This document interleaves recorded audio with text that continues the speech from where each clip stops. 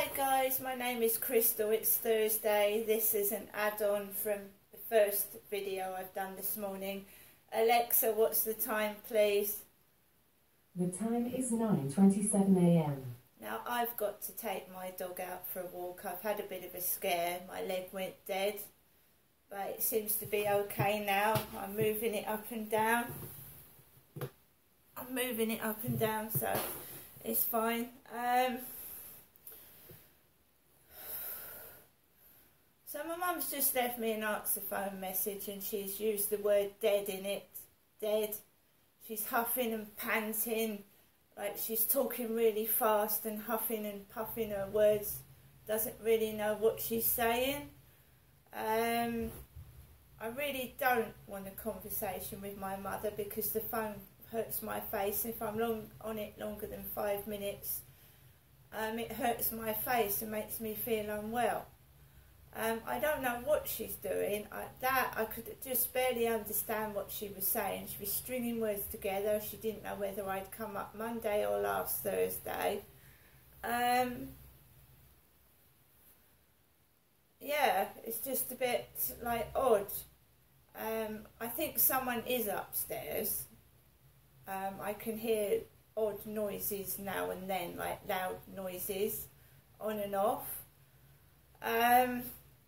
I'm just, I've, I've got a Tesco home shopping delivery. It's got my cat food and cat litter. My mum said I came up Monday, she's got nothing for me. I've got a Tesco home delivery shopping order coming this afternoon. And I had a shock because I thought, oh my God, I thought it was like due about 11. And my leg went dead. And I thought, how am I going to get down the stairs to let the man in if my leg's packed in? But it's come round I'm sure I just led on it and it was a dead leg.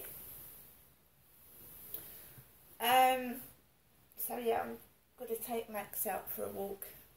Stress can kill somebody. If you keep harassing someone, stalking them, upsetting them, uh, stress is a killer. Stress can kill you. Um, I'm trying to take it easy. I've not lost my temper over anything.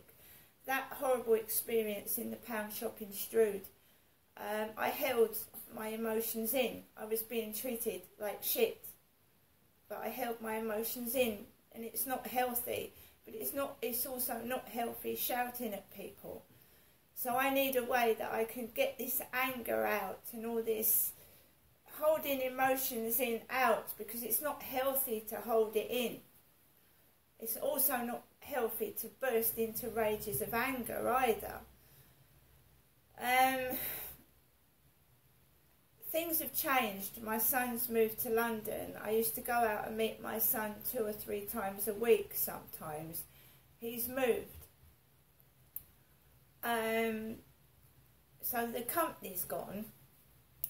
And I've just got my mother ringing three or four times a day, and she's eccentric. She says strange things, and sometimes I don't know how to deal with it and also the words, the wording she's using, words like dead, um, your numbers up, and things like that is just weird.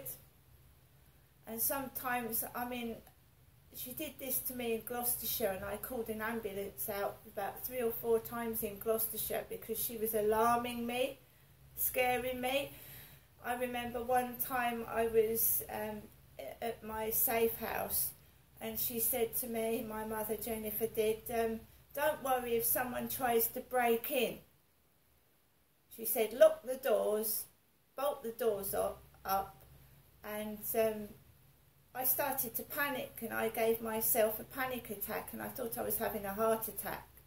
I broke out in a hot sweat and I had to call an ambulance. And they said, don't worry, my dear, it's, it's a panic attack. Your heart's fine.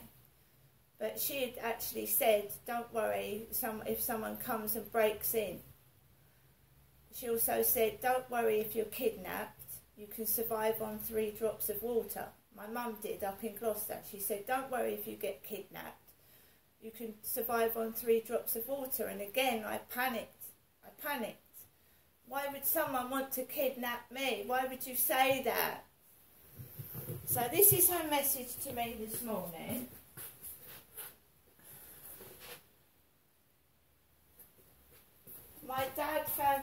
Have to live with my mother. Um, he used to keep her under control. He found it very hard, and I, you know, she she talks to the neighbours in the same manner. Right, guys. Um, so, Alexa, what's the time, please? The time is 9.23 a.m. So, just a phone call from my mother first thing in the morning. Um, she said she was going to phone me today, and she indeed has. Let's see what words she's got to say this morning.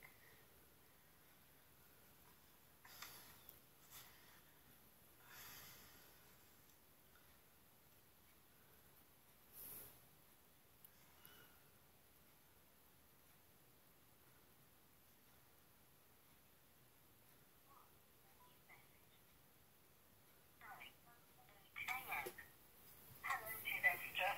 I've been trying to get through to you. Uh, it wasn't ringing, so I just, yeah, I, I, well, so I kept ringing just because it was, you weren't, you know, the line was dead. So I literally um, kept ringing. I mean, I've, I've, got, I've got your answer phone on now for speaking on it from, from my phone. Okay. I hope you're alright. If you need anything anything, get in touch with me, will you? Phone me or whatever, whenever I ring again, just let me know. I haven't got anything at the moment uh, you know, I could, you were up on one mobile sector last Thursday, I think, wasn't it? Or Monday, Monday was it, whatever. Anyway, um, I hope you're alright, I hope you have a good day. You every now and again to make sure you know that I'm at the other end of the phone if you need me or want, want to speak to me about anything. Okay then, Janessa. Thank you for thank you for coming up the other day. I, I very much appreciated it. I really enjoyed your company. It was lovely talking to you. So I will hope you're okay. Okay, Janessa. Bye for now. I love you. God bless. Press two to repeat. Three to delete. Five five to call back. Six to skip to next message. Seven to save. Eight to forward the message. Nine to for a list of options. Right, guys, so she's mentioned the line was dead. I had a bit of a health scare this morning. I went to walk across the floor and my leg went dead. Uh, so she's mentioned the word dead in the phone conversation. The phone line wasn't dead at all. I heard the phone go off. So the phone line wasn't dead. Um, I don't know whether that's meant to scare or alarm, but um, if I need help, I'll call the right assistance. See you later. Yes, so I found out there is someone running up and down upstairs because when my mum rang, I could hear it. So there is a child upstairs. I can hear noise they seem to start when the phone goes off. So when my mum rang, I could hear noise going up and down. Um, I, I wouldn't go up to my mum's today. I don't feel well. I've got a Tesco home delivery, so anybody trying to make noise to get me out of my flat, it isn't going to work. Um, th- there are unsavoury men going up and down the road. My mum has said to me to have a good day and I've had a bit of a health scare. I think it was just lying on the wrong side of the bed, so to speak. I hope so. Um, so people making noises, trying to make me angry with the guy upstairs, whatever. You know, it you, you know, if you want to help me move out of this place, that's the wrong way to go about it because I could end up in hospital. See you later.